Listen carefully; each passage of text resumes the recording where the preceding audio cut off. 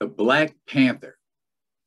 Now more than ever, he is one of the most iconic characters in all of comicdom. I am going to share with you today my top five favorite Black Panther stories of all time. This is Be Real with D Real.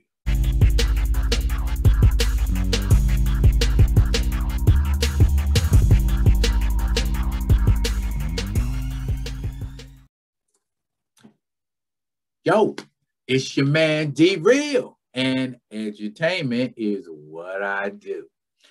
I am very excited about this particular episode because it's going to be covering my favorite comic book character, the Black Panther.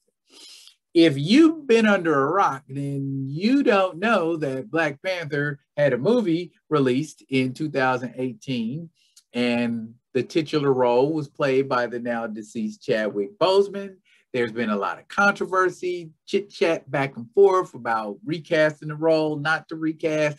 I say recast personally with all my heart and soul. And also, before I get into this countdown, I want y'all to do two things for me. First thing I want you to do like, comment, and subscribe to the Be Real with D Real page so that I can get more material to you about Black Panther and other characters Number two, because I feel so strongly about it, and if you haven't seen it already, uh, go back and watch my recast T'Challa show right here on the Be Real with D Real page, and I tell about why it is so important not to nix such an iconic character, especially to young black boys. They need it so dearly. In the comments below, put recast T'Challa when I get enough of you guys in my comments saying recast T'Challa, I will in fact start a petition. Um, I know they're already moving forward with production in July on Black Panther 2, aka Wakanda Forever. Um, but it is what it is. But I'm not gonna, I'm gonna stop wasting time. I'm gonna get to it and we're gonna do it. All right. Now, I based this on the the the overall entertainment of the stories some of them are, are are are drawn out over many issues some are resolved in a couple of issues but they are all iconic in nature and, and magnitude because they show different facets of T'Challa and show that he's not just a heart-shaped herb-filled vibranium suit wearing African king. He's a whole lot more. And and and you'll find that out as I go along. And as we start off with number five, my number five top Black Panther story of all time is, of course, the origin story. Number five is the origin story. The Black Panther's origin story takes place, well, initially, takes place in uh, the now legendary and incredibly expensive, I Black, uh, sorry, Fantastic Four, number 52, Came out in 1966. Stan Lee and Jack Kirby did the writing and drawing chores. And it basically is a story where T'Challa invites the Fantastic Four to Wakanda to whoop up on him to see if he's tough enough to take on his real foe, who happens to be Klaw.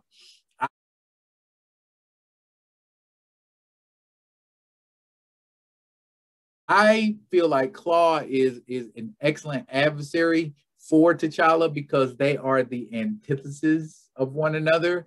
Um, Klaue being a being composed of solidified sound, and Black Panther being the greatest representative of vibranium, a, a sound and just energy dampener in general.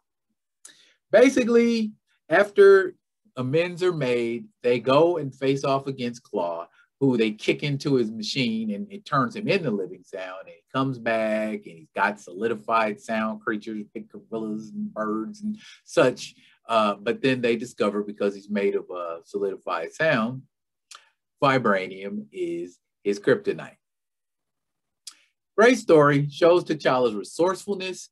Um, it shows that that that T'Challa is going is willing to go to great lengths to accomplish his goals and to show that he is perhaps one of, if not the greatest king in all of Wakanda or that Wakanda has ever had. The number four story, the, the, the best story, Black Panther story of all time, number four, has to be without a doubt Panther's Quest. Panther's Quest takes place in a comic book called Marvel Comics Presents that had little compilation stories of different superheroes in it. And Panther's Quest takes place uh, in 1988, and it takes place in Marvel Comics Presents number 13 through 37. Basically, Ramonda, the Queen Mother of Wakanda, whom in comic continuity is actually T'Challa's stepmother and not his biological mother, is kidnapped by South African radicals. And as you might realize and recognize in 1988, we were having all kinds of problems in South Africa with apartheid. This story hits heavily upon the apartheid, an apartheid based establishment, and the need for it to go away. Also, it showcases a non vibranium costumed T'Challa and how he has to deal with all of the pain and things that are heaped on him. In this storyline, I think nobody short of Wolverine has taken more damage. I mean, he's dragged through barbed wire, he's shot, but he's got to get his stepmom. And, you know, that just goes to show the level of love, faith, and commitment that a man like T'Challa makes when he's ready to, to, to, to handle business and, and just be an overall great human being.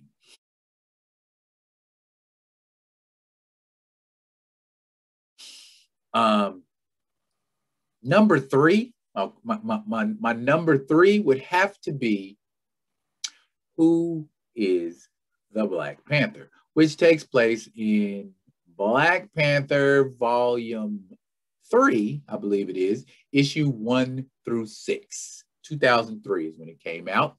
And this image behind me is from one of the covers of that Black Panther run uh, by Reginald Hudlin. And it looks like he's reaching out to grab me, doesn't it? Uh, um,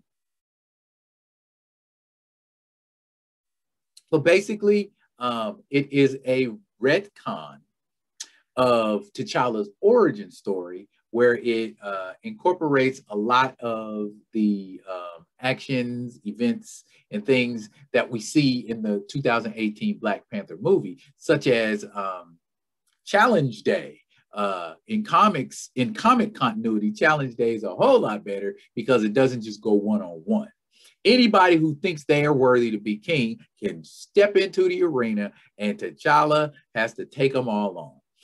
Um, at the time, T'Challa's uncle was standing in for the, the slain T'Chaka as Black Panther. So it would make sense. Your brother is worthy to become the Black Panther, but he held the mantle down until T'Challa was old enough to take it. And T'Challa was the one who came into the arena, knocked his uncle out, ascended to the throne and to the mantle of Black Panther. Also, this story run shows you that iconic ass whooping that T'Challa's grandfather gives to Captain America during World War II, who comes in all of his star spangled glory to let people know America's coming up in here.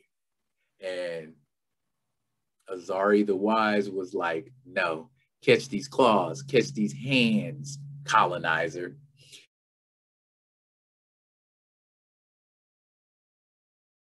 Great story. Also goes on to tell a little side story about Klaue trying to circumvent and get his way into um, Wakanda uh, through the internet of all places.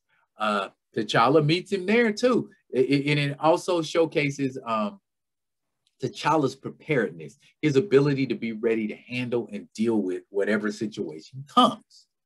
Great storyline. I suggest you pick it up. And by the way, all of these stories that I'm telling you about, are in um, trade paperback form, so you don't have to go and collect them one at a time. Or if you're into digital, all of this stuff is digital. Before I go on to the last two, what I need y'all to do again, comment, like, and subscribe if you're digging what I'm shoveling so that I can give you new material on the one. Real talk. Number two, on the Black Panther stories top five all time is King Solomon's Frog. This is a story where, uh, well, first of all, it's by Jack Kirby. Jack Kirby does the writing and drawing chores on the first, oh, about eight or nine issues of this Black Panther run back in 76, 77. Uh, and Jack can tell a pretty good story itself. And basically, the story about King Solomon's frog is about King Solomon's frogs. Uh, Black Panther is hanging out with this little person, appropriately enough named Mr. Little. Go figure. Lazy Jack, lazy. Now, T'Challa and Mr. Little meet a, a, a, a, very strangely clad woman by the name of Princess Zanda. And she's looking for King Solomon's frogs, treasure, whatever. And they get into King Solomon's uh, treasure vault and they find this frog. And this frog isn't just any ordinary artifact it has the ability to send an individual through time and space or draw an individual out of a random place in time and space. And when they touch it, they activate it and it draws an, an, an individual from the future, individual from the future there. And boy, it's like he's like six million years in the future. So he's got this great big alien head, and he's got an eye in the back of his head with a disintegration beam, and he's got laser beams that he shoots at this. Here, just just look at the dude.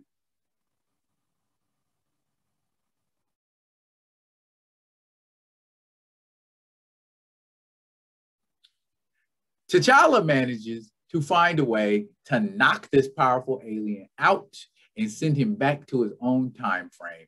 This story is only the beginning of a, of a quest and adventure that T'Challa and Mr. Little end up going on that that that that has them dealing with giant yetis, samurai, um, and people who want the potion of eternal youth. Go figure. But it shows the fun-loving sort of caricature side of Black Panther. And that's kind of a lot of what Jack Kirby's version of Black Panther slowly started to kind of devolve into. Fortunately, though, Jerry Bingham took over the chores um, with, I believe, issue 11. And the art changed drastically. I'm not saying it was better because we're talking about Jack King Kirby here. Um, but the art was different and and it was it was a refreshing pace from Jack's like huge action pencils. Other uh, otherwise, overall, King Solomon's Frog, pretty good story. Only ran two issues. It was quickly resolved. Back in the day when they would resolve comic stories in like two issues. So before we move on to number one, uh, I want to give some honorable mentions.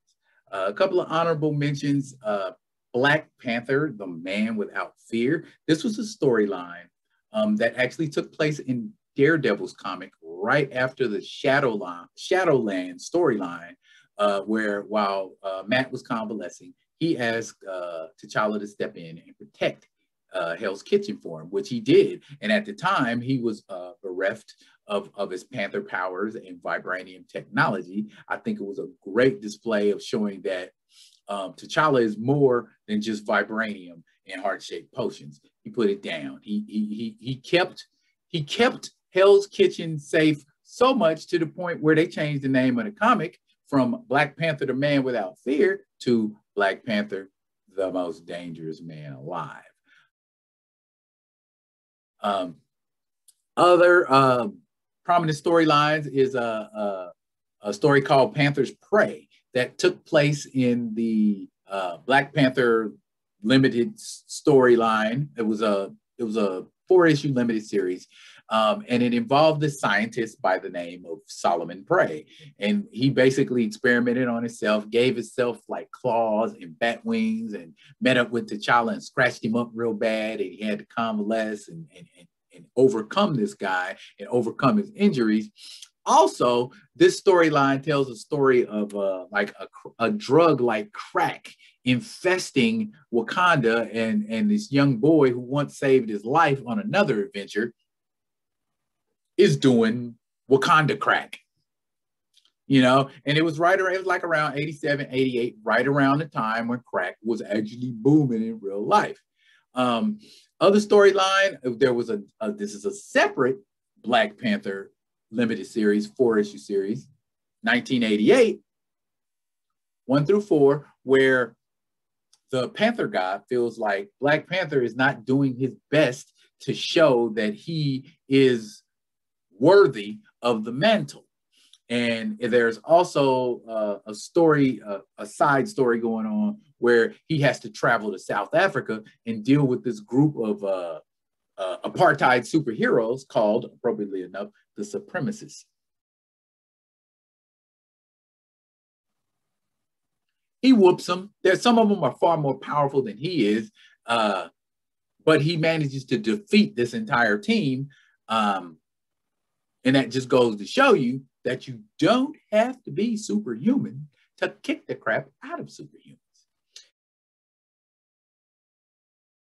Now, without a further any further delay, man, y'all got to know. My number one Black Panther story of all time Panther's Rage.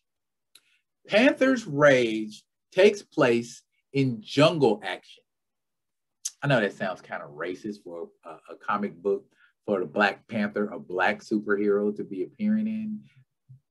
Maybe not racist, but just do you really want to call it jungle action? Not their fault. Jungle Action was was a title from back in the Marvel days when Marvel was called Atlas Comics, um, and it was back then. It was literally stories related to the jungle. You know, uh, Ka-Zar, you know that kind of a thing. Because back then, Ka-Zar was in the jungle stuff and not necessarily dinosaurs. Now, this is a story about well, it gives you your introduction, your very first look at Eric Killmonger.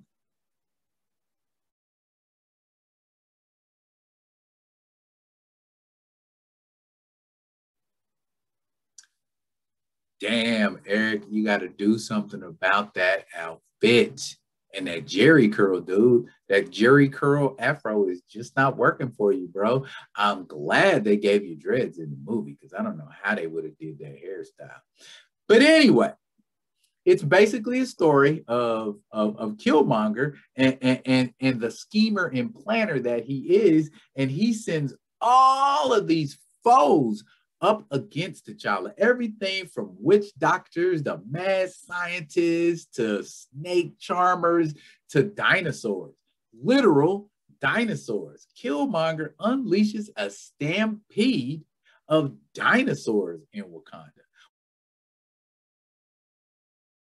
What I also like about this uh, storyline, it also shows uh, Black Panther's cat-like prowess. You know, there's a lot of those scenes where he's doing flips and somersaults and banking and bouncing off of things. And he's also getting his suit ripped up a lot because